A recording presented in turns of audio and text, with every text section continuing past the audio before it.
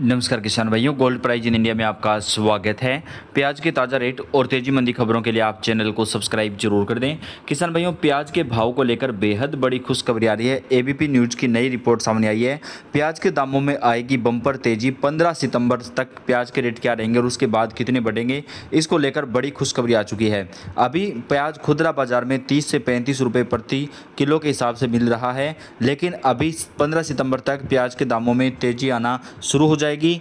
CRISIL market intelligence and analytics की report आई है, जिसके मुताबिक सितंबर महीने के अंत तक प्याज के भाव साठ रुपये से सत्तर रुपये प्रति किलो तक पहुँच सकते हैं। इसका मतलब हुआ कि आने वाले दिनों में आपको प्याज की कीमत जो है, वो किसान भाइयों को डबल तक भी मिल सकती है। हालाँकि सरकार की तरफ़ से 40 प्रतिशत जो यहाँ पे निर्यात शुल्क लगाया था, उसके बाद में रेट में कमी आई थी, लेकिन अभी आज की जो रिपोर्ट सामने आई है, उसके मुताबिक आने वाले दिनों में प्याज के दामों में तेज़ी हमें देखने को मिल सकती तो किसान भाइयों, अभी जो है आपको थोड़ा सा इंतज़ार करना पड़ेगा। अगर आपने प्याज रोक के रखा हुआ है और आप बेच रहे हैं तो थोड़ा थोड़ा करके आप बेच सकते हैं। आने वाले दिनों में तेज़ी के आसार जताए जा रहे हैं।